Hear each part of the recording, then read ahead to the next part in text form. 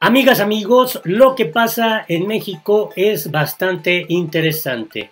Y es que en este contexto de la cuarta transformación que lleva a cabo el presidente mexicano Andrés Manuel López Obrador, sobresale un tema que ha sido una constante que ha tenido que enfrentar el gobierno de López Obrador y es justamente el papel que ha venido haciendo el expresidente de México Felipe Calderón Hinojosa que llegó a través del Partido Acción Nacional, pero hoy se ha ido y ha fundado su propio partido político, México Libre, pero resulta que se está dando a conocer lo más negro de su gobierno y ha sobresalido el tema de quien fuera su ex secretario de Seguridad Pública, Genaro García Luna, quien se encuentra preso en Estados Unidos por darle cobertura, protección a cárteles de la droga en México. Pero resulta muy, muy interesante el último capítulo que se está viviendo en esta confrontación que ha iniciado el propio expresidente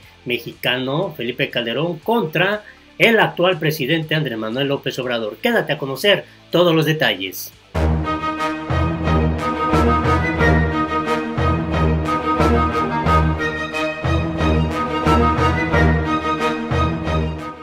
Hola, me da mucho gusto saludarte este lunes de 10 de agosto del 2020. La gran pregunta que se hacen en México, en gran parte de América Latina y sin duda habrá personas en el planeta que reflexionen sobre este tema.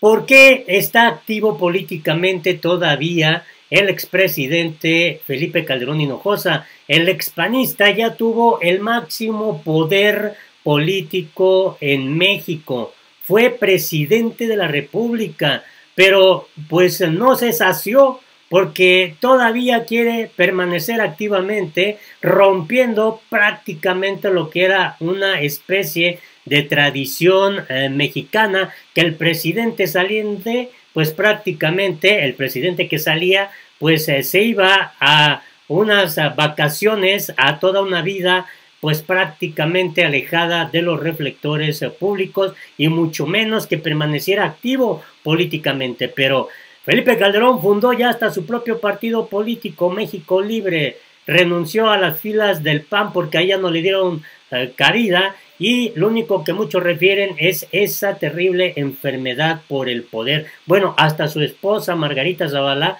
pretendió ser presidente en México, trató de ser la presidenta. Esto es eh, realmente sorprendente que no haya una saciedad en una persona que se dedica a la actividad política. Obviamente cada quien es libre de decidir lo que quiera hacer con su, con su vida y sobre todo si es una figura política. Sin embargo, llama mucho la atención el contexto que se está dando en México y es que ha dado a conocer esto por parte de la revista Proceso. Felipe Calderón ha ido de escándalo en escándalo y todo ello tiene que ver con asuntos de la corrupción. El contrato de etileno 21, obra de Felipe Calderón, es algo que dio a conocer la revista Proceso y bueno, a partir de las copias del expediente Odebrecht, incluidos testimonios, el contrato íntegro de etileno 21 y anexos y documentos internos de IDESA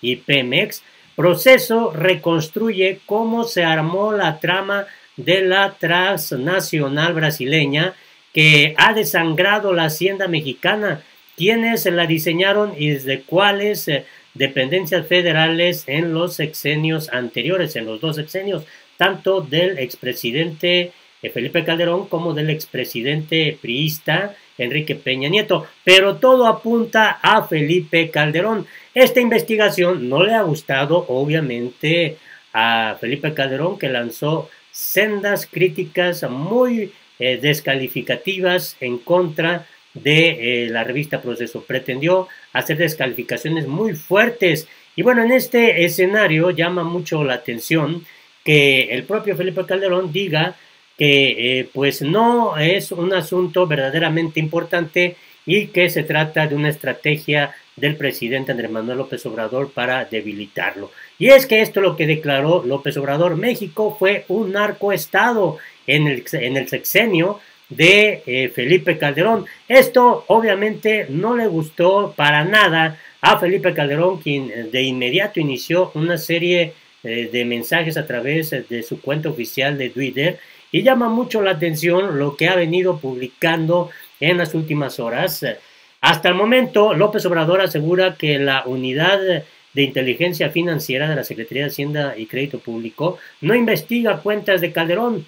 Eh, López Obrador señaló que la UIF realiza las investigaciones a petición de la Fiscalía General de la República y en este caso no hay ninguna solicitud hasta el momento. Pero resulta muy interesante todo lo que se ha estado ventilando en las últimas horas. Y en la conferencia de prensa matutina, el presidente López Obrador abordó un tema muy delicado, un tema de verdad muy controvertido, porque le preguntaron sobre el papel que jugó Felipe Calderón en este escenario de las acusaciones que se hacen contra su secretario de Seguridad Pública, eh, Genaro García Luna, quien está preso en Estados Unidos acusado de darle protección a bandas del narcotráfico, principalmente al cártel del Sinaloa y que traía una alianza con el famoso eh, narcotraficante Joaquín El Chapo Guzmán. Y sobre este tema, esto declaró López Obrador. Escuchemos. Eh, no va a haber eh, impunidad y se va a castigar a todos los responsables.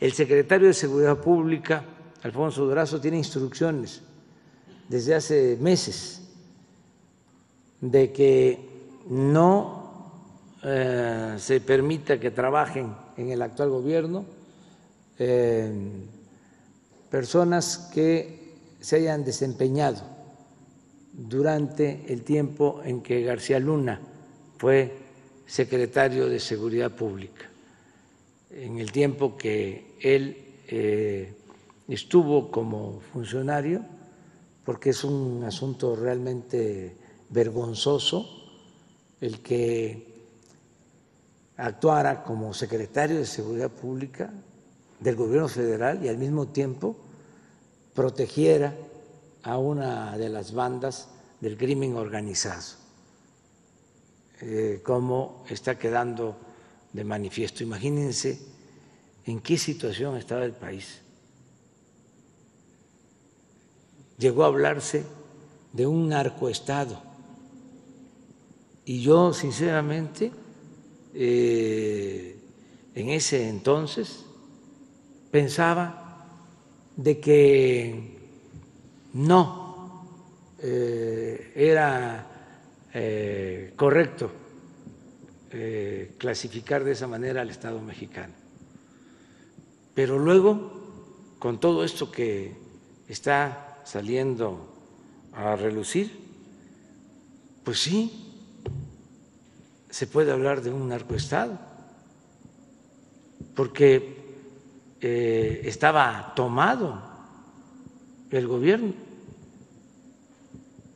Quienes eh, tenían a su cargo eh, combatir a la delincuencia estaban al servicio de la delincuencia,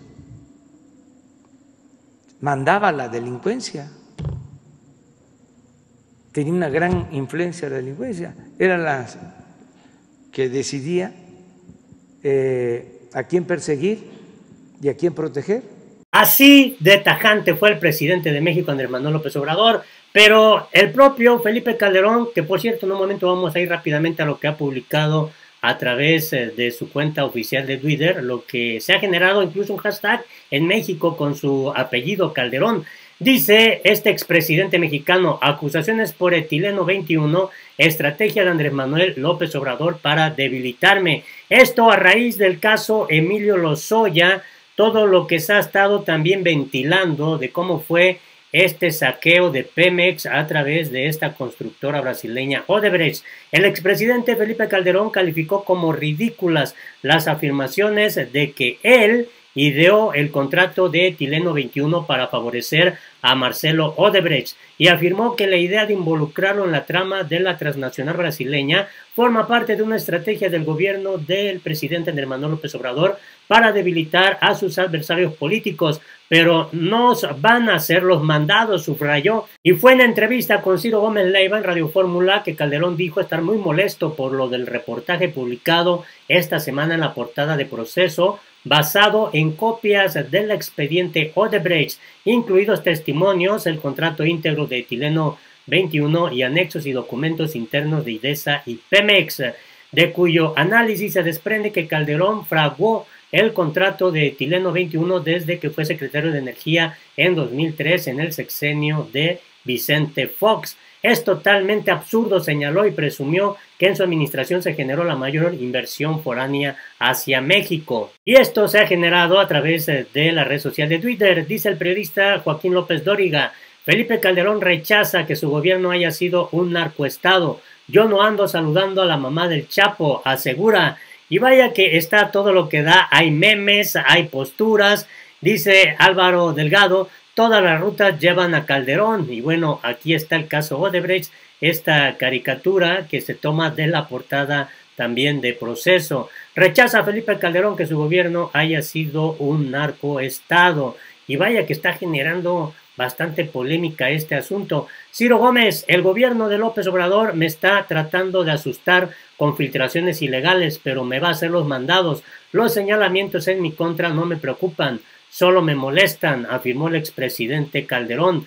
Dice Calderón, de acuerdo con Gurú Político, que las acusaciones de AMLO en su contra son totalmente falsas, que lo hace para debilitarlo políticamente. Sí, cómo no, si trae obviamente Felipe Calderón una larga cola que le están pisando ahora, todavía sigue metido en el tema político y es obviamente que va a salir pues también muy raspado. Tras reportaje de proceso que informó que la FGR tiene documentación que señala cómo eh, se operó desde la Secretaría de Economía de Fox y cómo se abrió la puerta a Odebrecht. Calderón culpa a AMLO por filtraciones ilegales y llama proceso periodismo basura. ¿Cómo lo ven? ¿Cómo ven este tema?